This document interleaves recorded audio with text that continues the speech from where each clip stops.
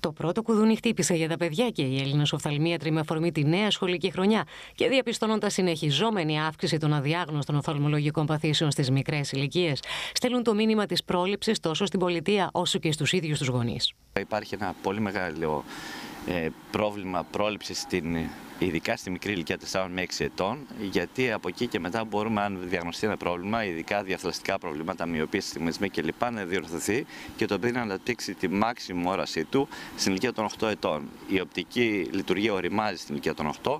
Αν ένα πρόβλημα θα ανακαλυφθεί νωρίς, περίπου στα 4, έχουμε άλλη μια τετραετία να το αντιμετωπίσουμε. Η απουσία πόνου ή άλλων έντονων συμπτωμάτων στα προβλήματα όρασης οδηγούν τους γονείς τους οφθαλμίατρους πολλές φορές καθυστερημένα, με αποτέλεσμα να υπάρχει κίνδυνος σοβαρών διαταραχών ή και μόνιμων βλαβών της όρασης του παιδιού.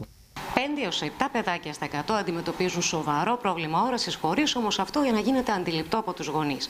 Εξάλλου, το 80% των παθήσεων που οδηγούν σε μόνιμη βλάβη της όρασης θα μπορούσαν να θεραπευτούν εάν είχε γίνει έγκαιρα διάγνωση. Δυστυχώς, τα παιδιά συνήθως έρχονται εδώ μετά την ηλικία των 7 ετών που έχουν πάει στο σχολείο και έχει εντοπιστεί το πρόβλημα της όρασης που έχουν είτε από τον δάσκαλο είτε από τον τρόπο ζωής που κάνουμε μέσα σε ένα σχολείο. Οι οφθαλμίατροι ζητούν από την πολιτεία να επαναφέρει τη θεσμοθέτηση του οφθαλμολογικού ελέγχου στα παιδιά κατά την εγγραφή τους στον Υπηαγωγείο και στο Δημοτικό, όπως γίνεται με το πιστοποιητικό για τη γυμναστική από τον καρδιολόγο. Υπήρχε το 2001 για μια περίπου δεκαετία, αλλά μετά αυτό έχει ατονίσει τα τελευταία χρόνια. Δεν υπάρχουν οφθαλμολογικοί έλεγχοι και ούτε το είναι υποχρεωτικό να αναγράφεται και στο ατομικό δελτίο υγείας του μαθητή.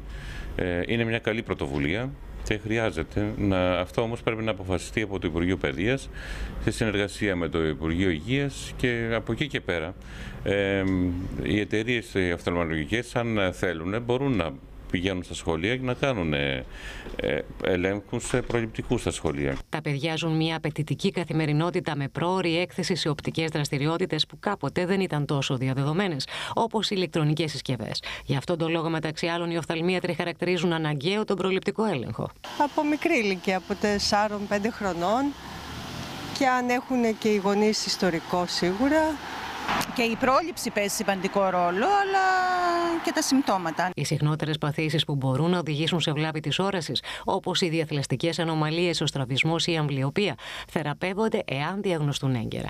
Ο προληπτικός έλεγχος συνιστάται να γίνεται σε κάθε νεογέννητο και στη συνέχεια κάθε δύο χρόνια.